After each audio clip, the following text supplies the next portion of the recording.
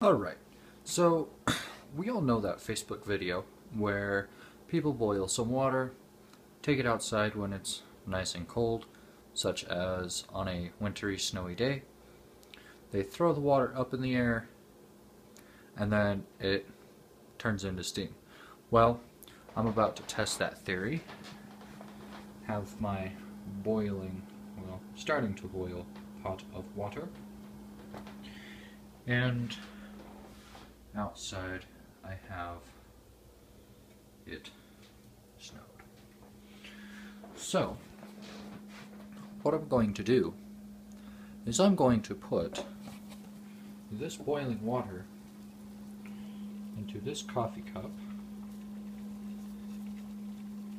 take it outside, and throw it to see if it has the exact same effect. So,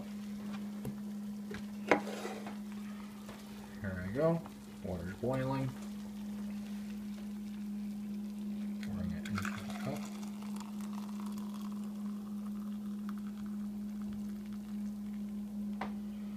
Okay, save that for later.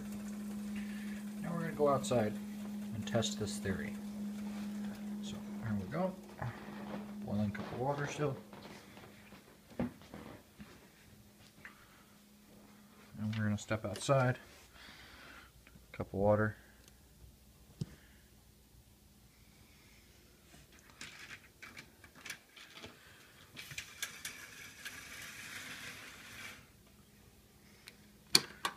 Opening the door. And step outside. Okay, still hot. And hey, what do you know? It worked.